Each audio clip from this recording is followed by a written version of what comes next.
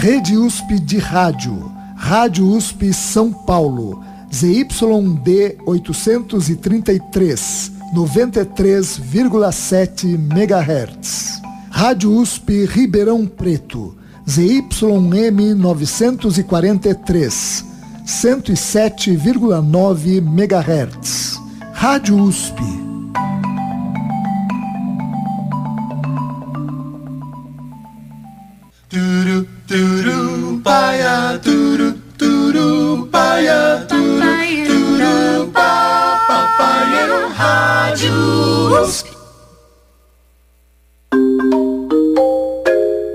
A Viola Caipira está presente toda semana na Rádio USP. O programa é uma parceria com o Núcleo de Apoio à Pesquisa em Ciências da Performance em Música de Ribeirão Preto. Revoredo, toda quinta-feira, às 5 da tarde, com reapresentação sábado, às 8 da manhã. Manhã na USP. Todas as vertentes da música brasileira. Mestre Ambrósio, de Ciba, pé de calçada. Ante Celso Sim, com André Stolarski e Cacá Machado, trema essencial. Sebastião Biano e seu terno esquenta mulher, do Sebastião e Caetano Veloso, pipoca moderna. São 44 anos de convívio, muita informação e cultura aqui na Rádio USP. Neste aniversário, é com você que compartilhamos uma programação educativa, plural.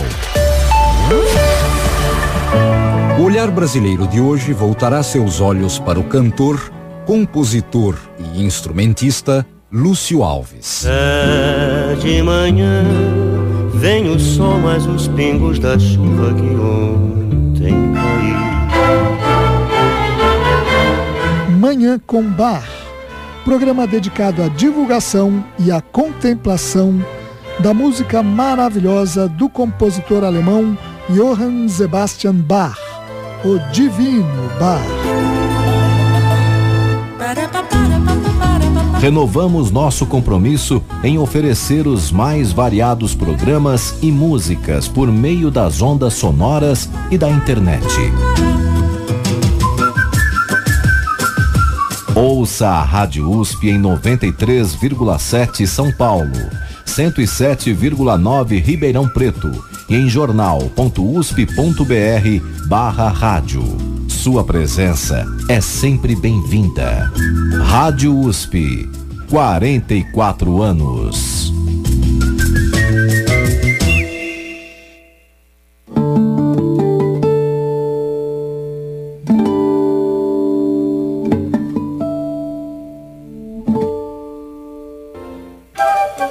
Rádio USP. Manhã na USP. Música brasileira. Badi Assad, de Gonzaguinha, From Night States of Piauí. Dalva de Oliveira, de João Roberto Kelly, com Chico Anísio. Rancho da Praça 11. Rádio USP. Quase de manhã. Javan, no nosso Manhã na USP. Também Zé da Zilda e a Zilda do Zé, deles Sacarrolha. Ginga e Quarteto Carlos Gomes, de Ginga e Tiago Amud, Avenida Atlântica. Rádio USP está com você em qualquer lugar. São Paulo 93,7, Ribeirão Preto 107,9, pelo site jornal.usp.br e pelo aplicativo Jornal da USP. Você já baixou o aplicativo da Rádio USP no seu celular? Ainda não? Além de você poder ouvir a Rádio USP em tempo real, você acompanha as notícias, pesquisas e todo o conteúdo do Jornal da USP. Baixe o aplicativo, é fácil. Entre na loja virtual de seu celular Android ou iOS. Procure Jornal da USP e pronto. Um conteúdo diferenciado a um clique.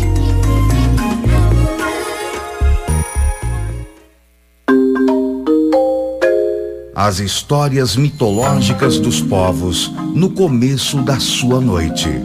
Mitologia. Histórias sagradas. De segunda a sexta-feira, às 18 horas. Você livre para ouvir o que mais gosta, onde quiser. Acesse a Rádio USP via streaming. radio.usp.br.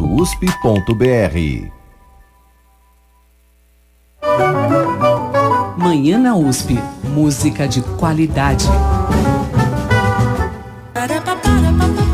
Renovamos nosso compromisso em oferecer os mais variados programas e músicas por meio das ondas sonoras e da internet.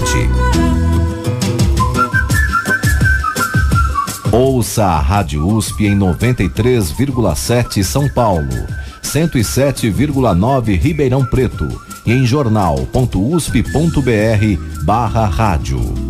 Sua presença é sempre bem-vinda.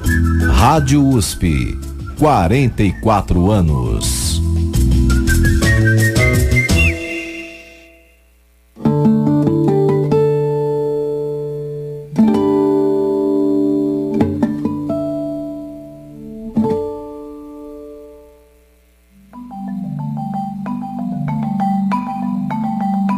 Rede USP de Rádio Rádio USP São Paulo, ZYD 833, 93,7 MHz.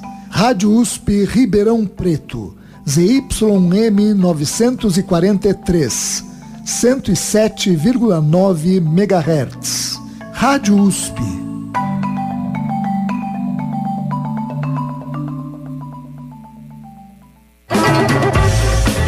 Jornal da USP no ar. Olá, muito bom dia a você que acompanha a programação da Rádio USP São Paulo e Rádio USP Ribeirão Preto. Hoje, terça-feira, dia 12 de outubro, dia da padroeira do Brasil e também dia das crianças. Eu sou Márcia Vanza e no Jornal da USP no ar, edição das 8 e 5, você vai saber que especialistas alertam sobre o uso de medicamentos nocivos durante a amamentação e que a explosão no uso das redes sociais abre possibilidades para o setor cultural.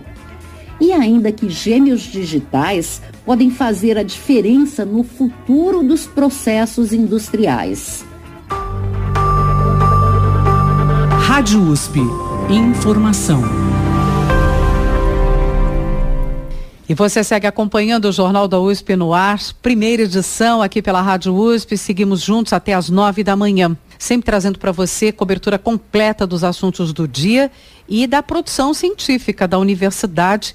A gente vai falar de saúde, de prevenção, de tratamento Centro de Assistência Toxicológica do Instituto da Criança e do Adolescente, do Hospital das Clínicas da Faculdade de Medicina da USP, orienta sobre o uso de medicamentos durante o aleitamento materno. Então, apesar da maioria dos medicamentos ser excretada no leite materno, nem todos são incompatíveis e podem oferecer risco de intoxicação. É sobre isso que a gente vai falar. E eu converso sobre o assunto com o Dr. Carlos Roberto de Medeiros, que é gerente médico do Centro de Assistência Toxicológica do Instituto da Criança. Doutor Carlos, bom dia, bem-vindo. Bom dia, Roxane. Bom dia a todos os ouvintes. É um prazer estar aqui para falar um pouquinho a respeito desse tema que para nós é de extrema relevância. E quero agradecer também a presença da Eliane Gil Rodrigues de Castro. Ela é farmacêutica, então, do CEATOX e é assistente toxicológica.